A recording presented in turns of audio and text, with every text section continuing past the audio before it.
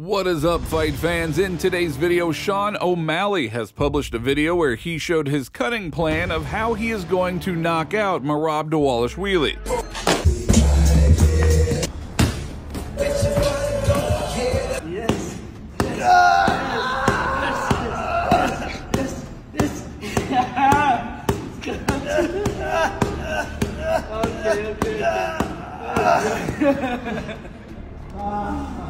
A mega fight between Dricus Du Plessis and Israel Adesanya is brewing, questioning who is truly the king of Africa.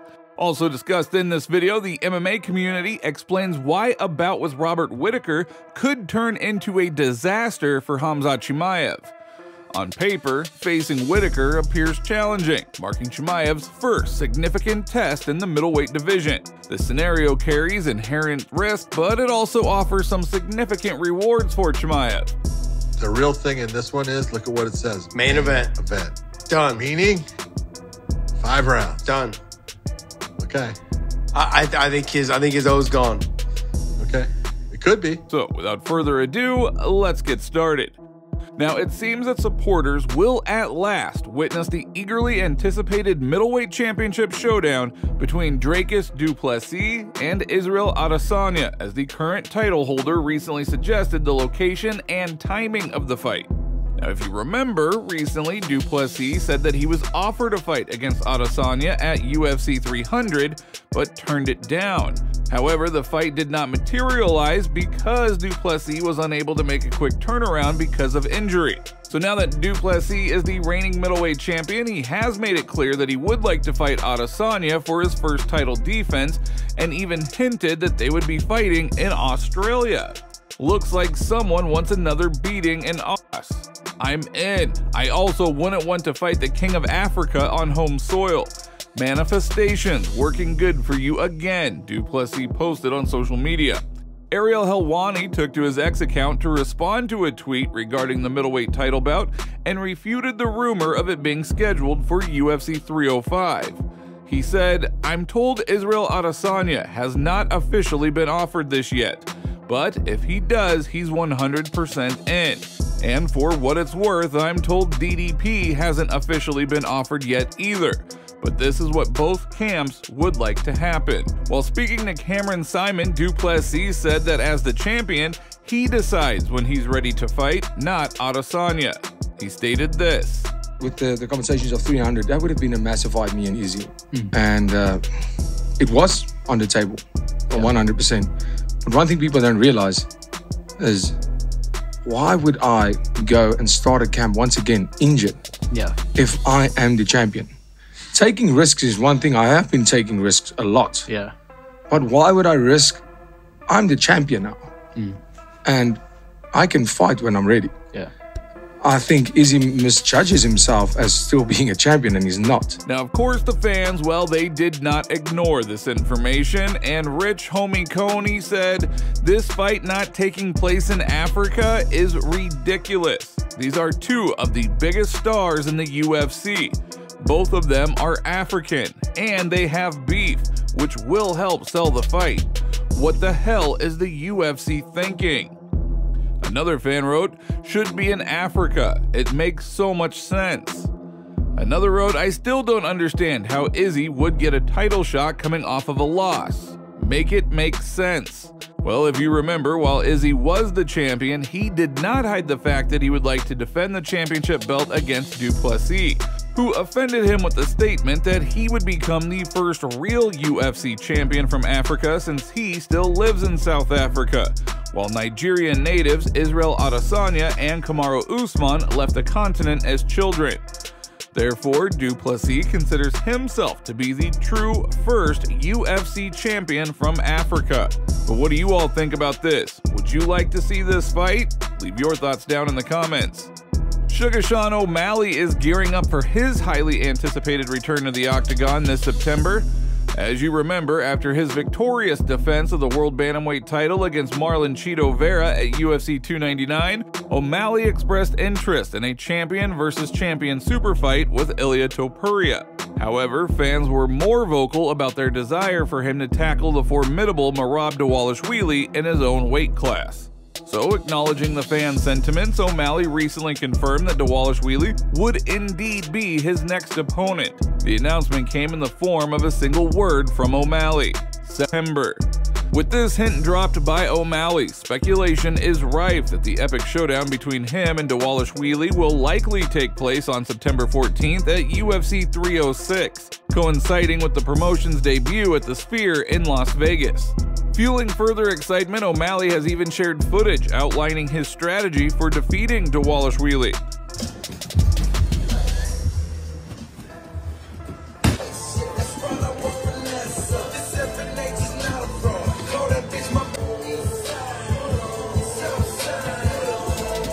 As you can see in the video, O'Malley looks like he's going to run from him and then hope to catch him like he caught Merab's friend, Aljamain Sterling.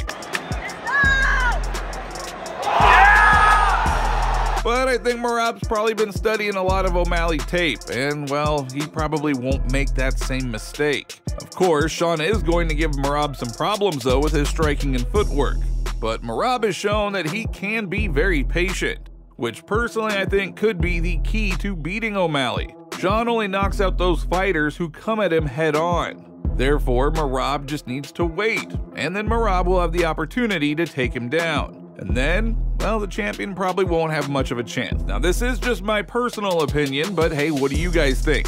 How do you think the fight will go? Leave your thoughts down in the comments. On June 22nd, the UFC will hold its first event in the history of the promotion in Saudi Arabia. The event will be headlined by a fight between former middleweight champion Robert Whittaker and the undefeated Khamzat Chimaev. Now, on paper, the fight with Whittaker looks difficult, and in fact, this is Chimaev's first real test of the middleweight division. The scenario carries a lot of inherent risks, but it also offers some substantial rewards. Currently, Whittaker is ranked third in the middleweight rankings, while Khamzat is positioned at 11th. So a win for Borz would propel him into the elite circle of the organization's top middleweights.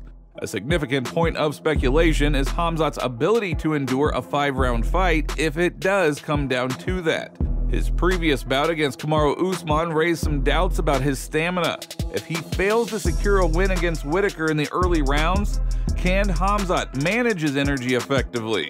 I mean, this could be Chimaev's first ever five round fight, and there is no doubt that his opponent knows how to go the distance. But nevertheless, Khamzat will deservedly still be the favorite in this fight. Now, Michael Bisping doubts Chimaev's fight with Whittaker, saying this is his first 25 minute fight. If it does not end early, it will be a disaster for Khamzat, Bisping stated on his YouTube channel. And as I say again, I am not criticizing, it's just a real conundrum right? Do I believe, brother, that I can go out there and smash this guy? Yes, he could, probably, maybe. But what if he can't? What if he empties the tank? What if he gives everything he's got to get that finish and Robert Whittaker is still standing? He could be okay, right? And there's going to be a lot of pressure on his shoulders fighting in Saudi Arabia. I believe that Khamzat can definitely get Robert to the ground. Yeah. Okay, especially in the first round. But he better do some damage to Robert in that first round with all the uh, effort it's going to take for him to get him to the ground and everything and keep him there, he's going to have to be in great shape and know that Whittaker's going to come out just as strong in the second and third and 4th mm-hmm. and fifth. And you've got to get through all of that. So, you know, five rounds makes a difference in the in the fight world. Let's look at the Chimaev card. If Chimaev comes out on top, his last fight was for number one contendership. He won, but he broke his hand. So he missed the alleged offered date, which was in Canada. Ended up being Strickland Du Plessis to refresh your memory. And he's back in this spot, but does he have a travel ban? I spoke with Daniel Cormier about that. Said, Daniel, I can't get this damn thing confirmed. I've heard you speak about the rumored travel ban. Have you got it confirmed? Daniel said the same thing. No, I can't get it confirmed. He said, but I don't share your opinion, Chael. So now that now that we're in Saudi Arabia and we're already been in Abu Dhabi, just for example, there's enough opportunities for a champion who only fights two to three times a year to fight two to three times a year. He didn't agree. He didn't agree that if the travel ban's in place, that that would forego an opportunity for Chimaev to fight for the belt. Like when, when you're on top of the world, when you win, you're on top of the world. You're everybody's friend. You're in the limelight. Everyone loves you. Like you yeah. can do no wrong. When you go home, you can do no wrong. You're just everything is better. But then when you lose, mate, mate. Nobody, nobody wants, nobody knows He's you. a mate. Nobody knows mate. You. Like, yeah, like you get it. Like nobody knows you. Nobody wants to talk to you. When you go home, everything sucks. Like it's Yeah. hard. It's really like it is crazy the the differences. That's all for today. If you liked the video, don't forget to like and subscribe to the channel because it is very important to us. And thank you all in advance.